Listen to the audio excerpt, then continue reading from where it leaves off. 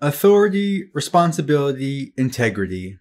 These are all traits of a leader, a leader that people respect. The leader among baseball teams is naturally the manager.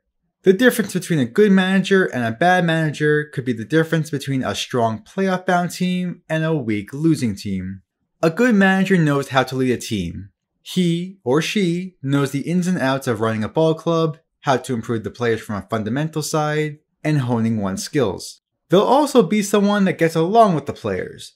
A manager that loses trust and respect from his players has failed as a manager. Lastly, I think we can all agree that a leader needs to be truthful. He or she cannot lie. This means being honest about the team, performance, and especially oneself. That last point should be fairly obvious. Nobody wants the leader of a team to be a liar and dishonest, especially using dishonesty to gain notoriety and responsibilities. You don't want your manager to lie his way into the role.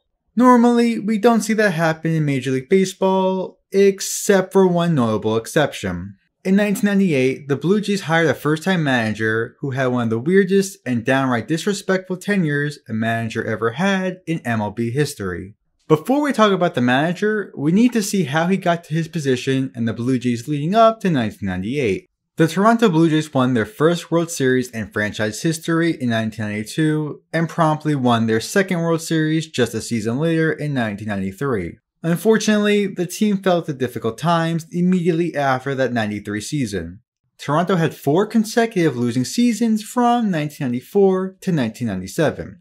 In response to their recent losing, the Blue Jays fired longtime manager Cito Gaston, the same man who won those two championships with the team. Ahead of the 1998 season, Toronto hired Tim Johnson to be their new manager. Johnson was a former MLB player who played for the Blue Jays in the 70s, after a short career, he spent almost 20 years as a coach or manager in the minor leagues before being hired by Toronto. Most notably, he was the bench coach for the Red Sox in the mid 90s. As a coach in Boston, Johnson became popular among the players due to his war stories. Johnson was a Vietnam veteran and would tell stories of his experiences overseas. Red Sox outfielder Mike Greenwell commented on this, saying the stories would fire the players up and from all accounts, the players admired Johnson and what he had to say. Why do I mention all of this? Because it shows Johnson had a good relationship with his players. He used his stories and experiences to have success on the field and gain respect from his team. Specifically, he would tell his players about the struggles he experienced and showed how he survived the war and toughened it out. This inspired players on the Red Sox and made them look up to Johnson. When Johnson was hired as manager, he had a tall order to fill as 1997 was a very disappointing season for Toronto. Prior to the 97 season, the Blue Jays had signed free agent star Roger Clemens to a multi-year deal to pair him with the previous season's Cy Young winner Pat Hentgen. The club also traded for All-Stars Carlos Garcia and Orlando Merced and looked to build themselves into a contender again. They finished under 500, continuing the team's free fall from stardom just four years prior. How did Johnson perform as a manager? Initially, not great. He struggled at the beginning, and the Blue Jays hovered around 500 for the first half of the season. Entering the All Star break, Toronto was 46 and 42, but a disastrous July saw them drop below 500, reaching a record of 56 and 59 in early August. Despite a successful career as a coach and minor league manager, Johnson struggled to transform that into success at the major league level. Johnson reportedly had a bad relationship with the pitching coach Mel Queen, which may have created a hostile environment in the clubhouse, contributing to the bad chemistry among the team. This was odd as Johnson usually had a great relationship with his fellow coaches, and we'll get back to this. It appeared the Blue Jays were going to end the season under 500 for the fifth consecutive year, conferring to mediocrity. However, despite the quarrel and losing, Johnson was able to right the ship, and his Vietnam stories are one of the reasons for it. One notable example involves pitcher Pat Hentgen. When the Blue Jays were traveling to Boston to face the Red Sox, Johnson went to motivate his pitcher, and he did so by telling him a war story. The story he told him was how he killed two children in Vietnam because they were in the way of fire. He told him this story to get him to accept a change in the pitching rotation to show that sometimes you need to go through tough times in life. Yes, Johnson actually did tell him that story.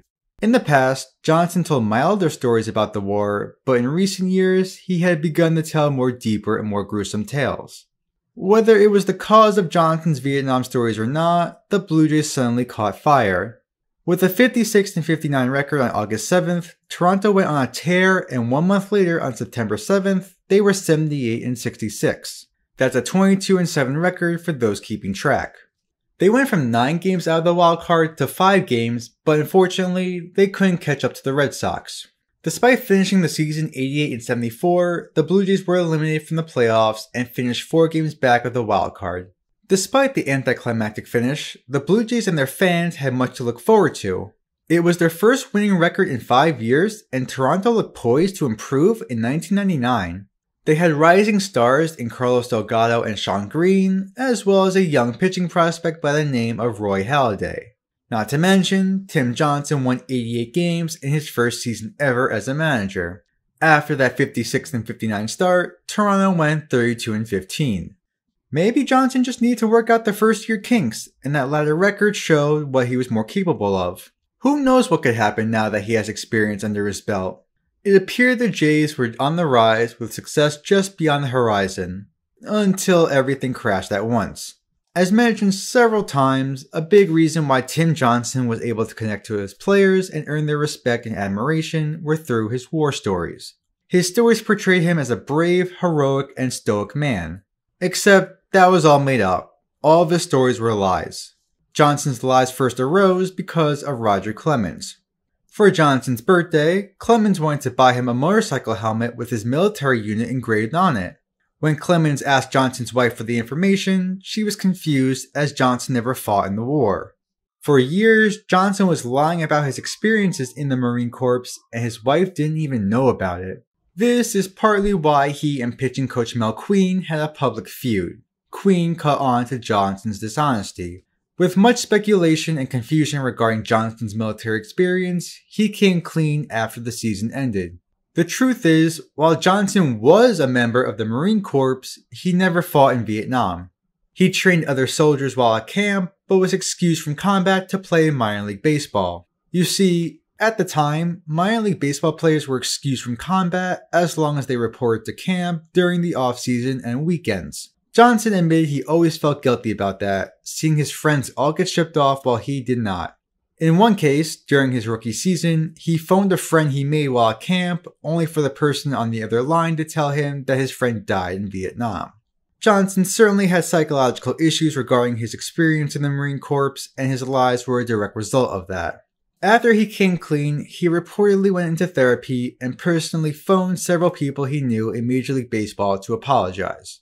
Despite this large controversial issue, the Blue Jays stuck by Johnson and wanted him to come back as manager for 1999. This was not taken well by everyone. Notably, Toronto third baseman Ed Sprague called Johnson a liar and a backstabber. During spring training of 1999, with tensions high between Johnson and the club, the general manager made the decision to fire Johnson, and he hasn't returned to Major League Baseball in any capacity since. Tim Johnson will go down as having the strangest and possibly even most disrespected managerial tenures in the history of Major League Baseball. He lied his way to get into the position, to gain respect from his players, and lost everything because of it.